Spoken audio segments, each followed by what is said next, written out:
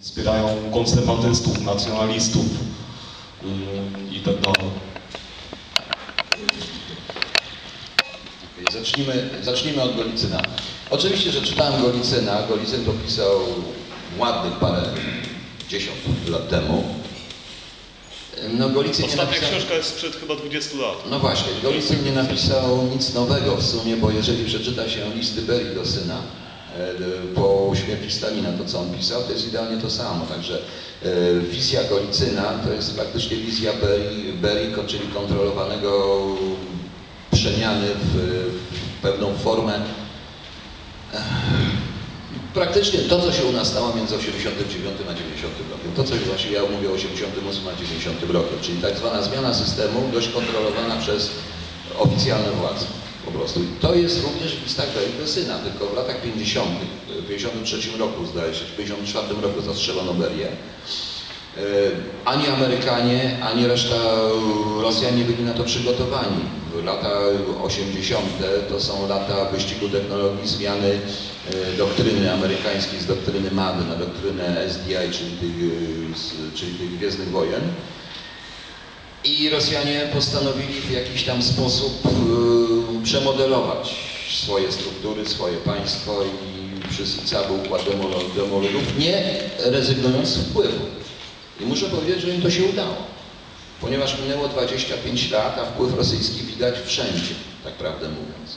E, Przykład ostatniej afery prywatyzacyjnej w Warszawie i takiej mapki, która tam pokazuje różnych ludzi. Czy, ja już nie muszę Państwu mówić tych przykładów, ale tego jest cała masa, prawda?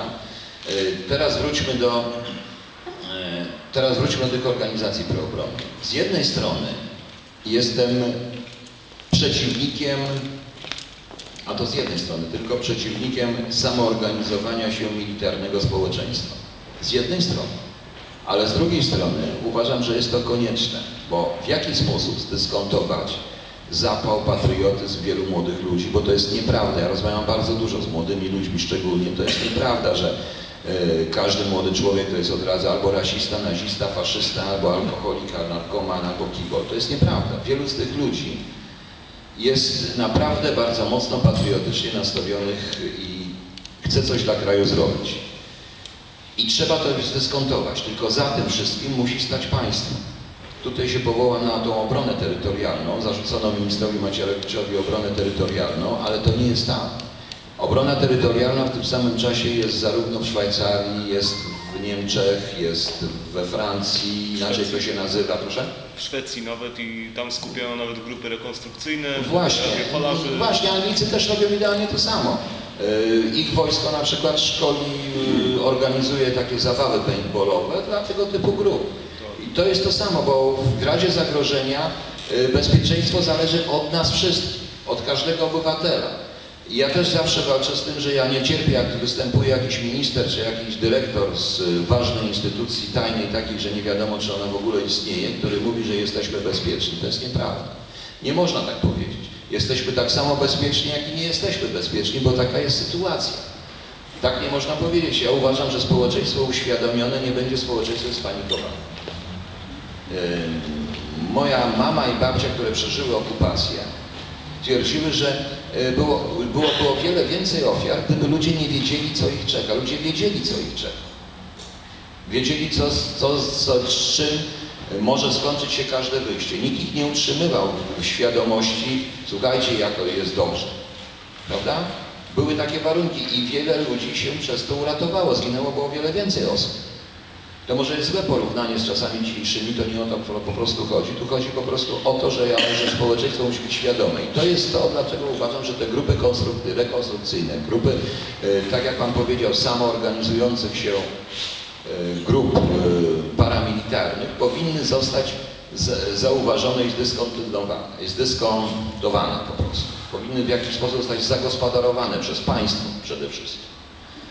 E, Błędem jest sytuacja, w której myśmy w ogóle zrezygnowali w ciągu 8 lat poprzednich rządów z jakiejkolwiek obronności, poprzez zarówno wycofanie przysposobienia obronnego ze szkoły, czy, e, czy ja znam przypadki jednostek wojskowych, której po odejściu na emeryturę starszego chorążego z najmłodszym stopniem był, to był porucznik.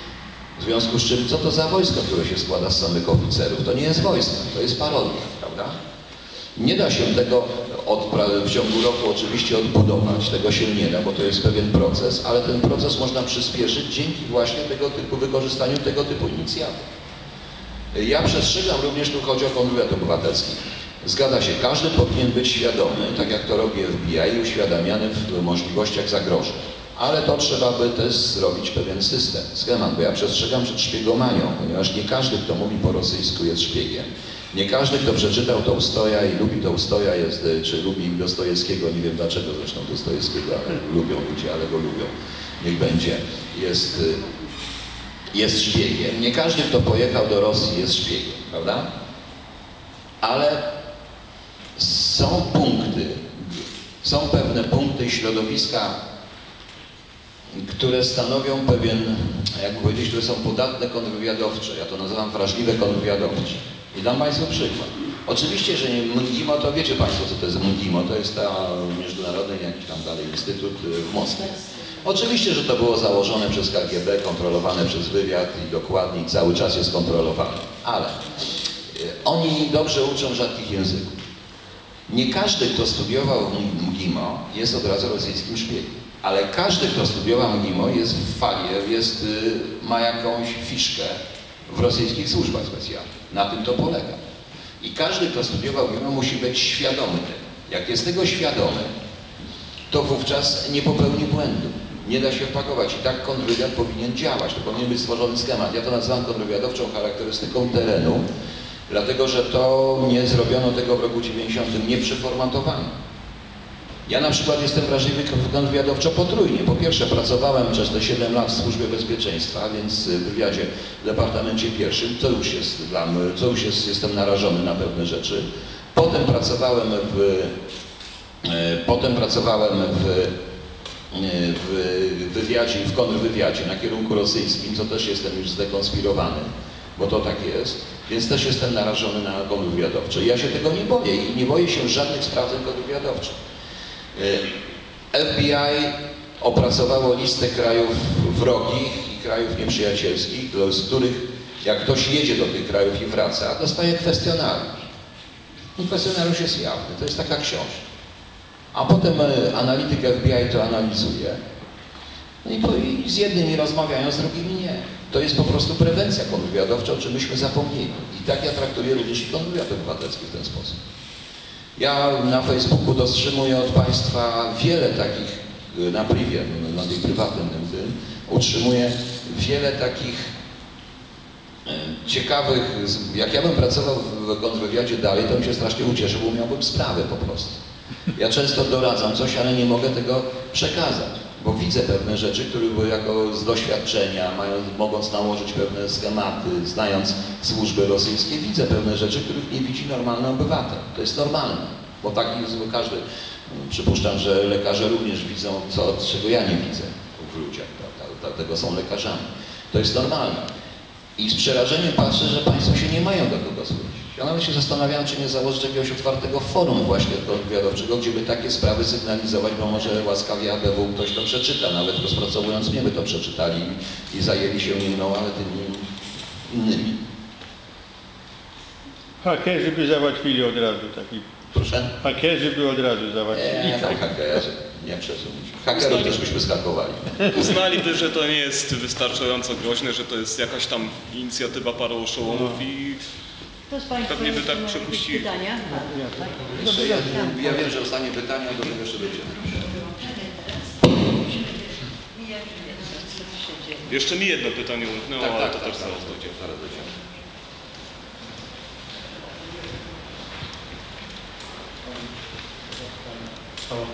Tak, Jak się rekrutuje jako wywiadowcy? Do wywiadu wywiadu.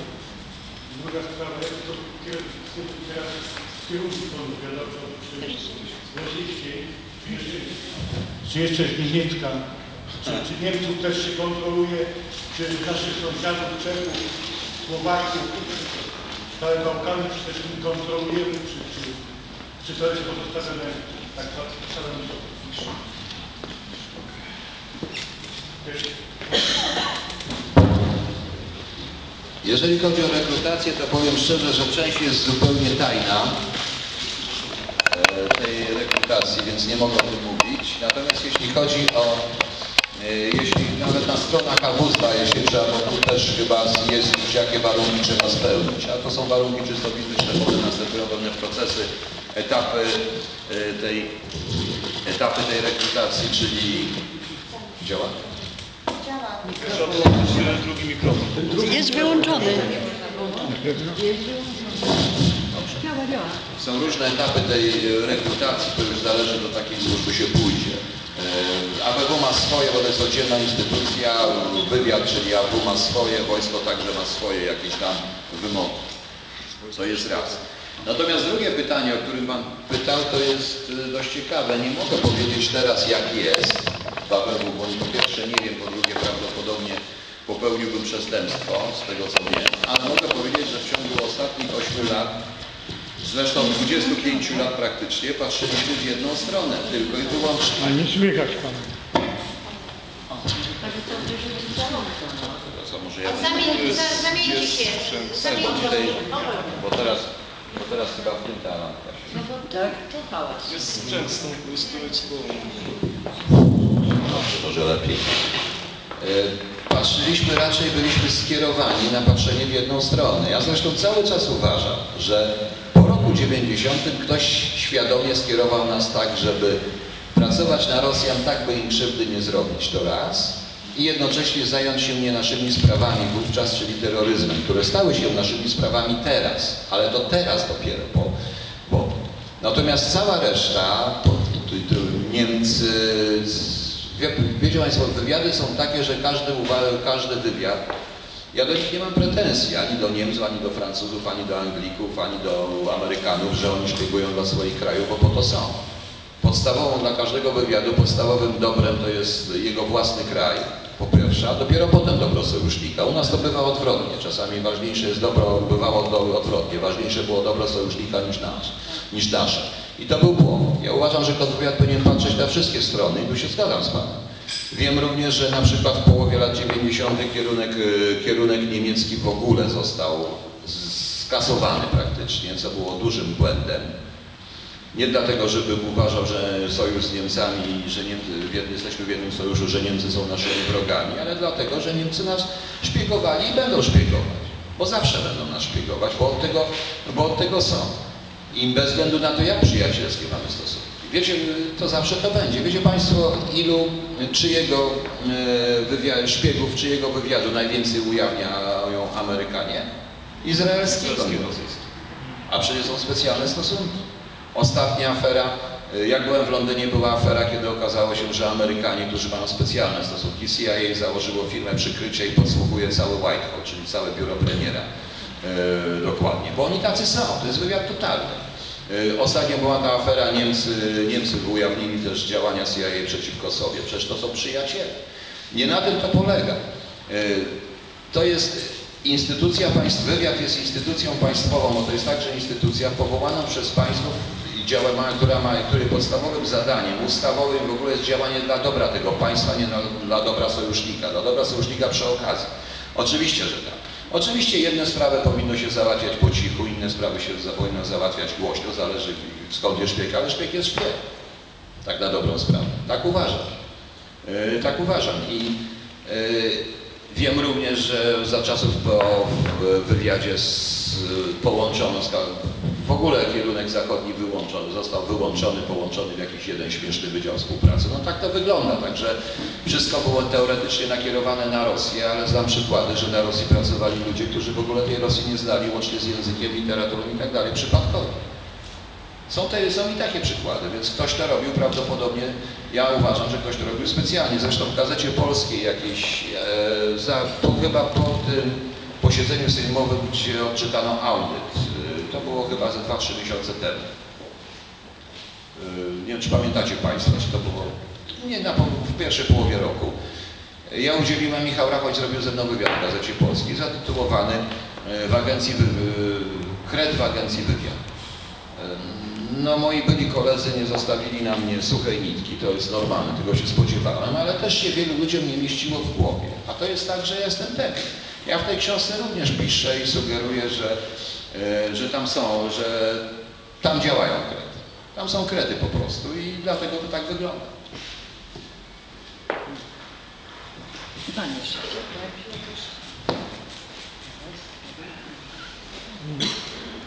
Poruszył Pan bardzo ważny temat y, dla mnie osobiście, mm, bo pracuję w transporcie morskim, jeśli chodzi o y, wpływ. Ja się z tym spotykam, mogę powiedzieć, od kilku dobrych lat y, w gospodarce. A to jest najłatwiejszy sposób, jeśli chodzi o, y, to Pan też tutaj powiedział, sobie nie zdawałem tego sprawy, ale y, jako syn byłego partyzanta czuję to, co Pan powiedział w skórze. Mianowicie widzę, jak poprzez fuzję niektórych firm my po prostu pozbywamy się najcenniejszych dóbr.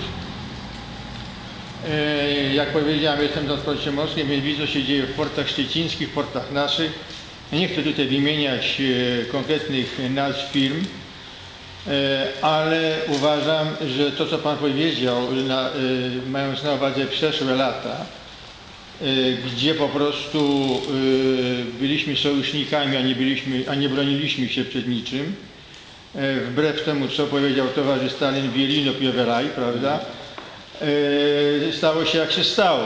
Przecież e, widzimy, jak kapitał niemiecki e, burzuje w tej chwili bez III wojny, no de facto ma najważniejsze firmy, przynajmniej z mojego punktu widzenia i siedzenia, ma w ręku. Wystarczy popatrzeć na domenę tej komputerową portu szczecińskiego. Ja jestem na końcu DE. No tak. No to o czym mamy rozmawiać i tak dalej, i tak dalej. Nie chcę się tutaj rozwodzić, ale Pan mi uzmysłowił, że to jest więcej jak groźne w tej chwili. I już nie mówię, prawda, co było z bankami. To jest kolejny punkt. A jeszcze jedna rzecz, co mnie boli, e, to co Pan też podkreślił, no nie powiedział Pan tego e, w stosunku do siebie, ale dał Pan do zrozumienia, że Pana też to boli. Właśnie ta samowola niektórych mniejszości. Mieliśmy tutaj w Gdyni ostatnio, przecież mniejszość niemiecka zrobiła konkurs, pan bardzo ładnie zaczął właśnie o naszym mieście i tak dalej, a był to był konkurs fotograficzny szukania pamiątek niemieckich.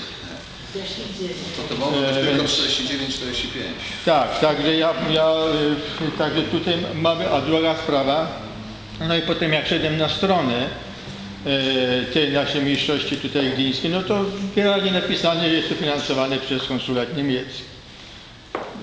Boli mnie bardzo sprawa Rasiu. Tak. Co to tam się dzieje, to już jest... No ten artykuł na, Także z okazji dziękuję. 1 września był w ogóle, był, ten artykuł z okazji 1 września był, był skandalem, nie wiem czy Państwo wiedzą, co Raśka Tak. pisał, jak to Ślązacy witali Wehrmacht Wie- pierwsi, kwiatami tak, w tak. ogóle i tak dalej. Ale Raś to jest y, zupełnie inna sprawa.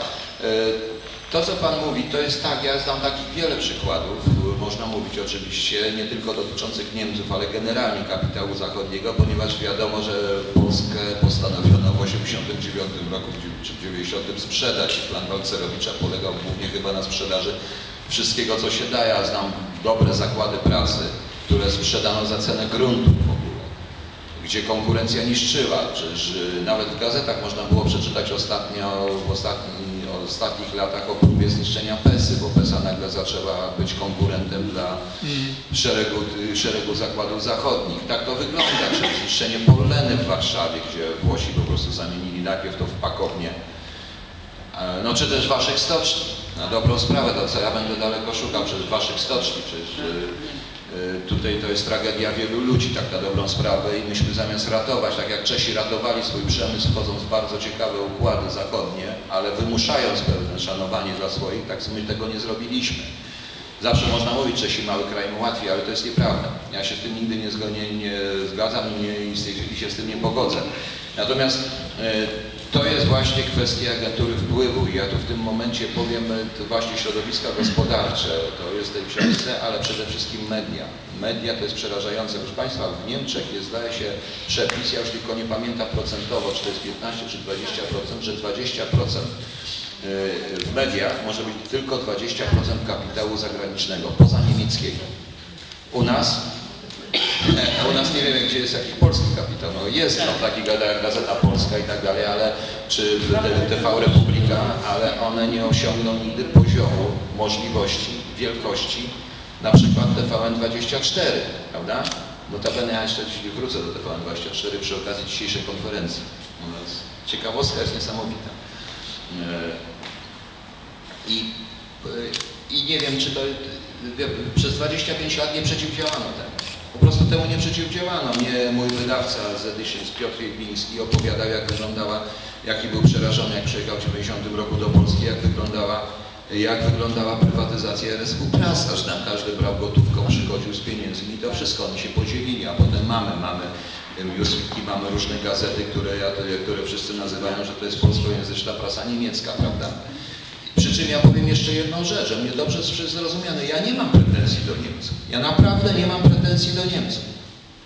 Ja ich nawet lubię i lubię ich kulturę. Ja mam pretensje do Polaków, do nas, do naszych służb, do naszych decydentów, polityków, którzy na to pozwolili, bo jeżeli ja bym znalazł jakiś kraj i mnie by pozwolili na to samo, robiłbym to samo. Tak samo jak mam pretensje do, również do polityków, że nie zagospodarowali naszej licznej Polonii, z którą się cieszę. Ostatnio byłem w Londynie, rozmawiałem z młodymi ludźmi, to, jest, to nie są tylko gastarbeiterzy, to są ludzie, którzy wiedzą, co się dzieje w Polsce.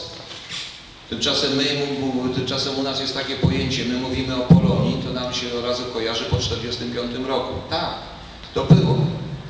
I całe MSZ działa na tych po 1945 roku. Tymczasem tam jest, w Anglii jest ponad półtora miliona tak naprawdę Polaków, którzy mają tutaj rodziny, którzy utrzymują kontakt z Polską, którym na tej Polsce zależy i to jest dopiero agentura wpływu w cudzysłowie, bo to jest ogromna siła lokująca.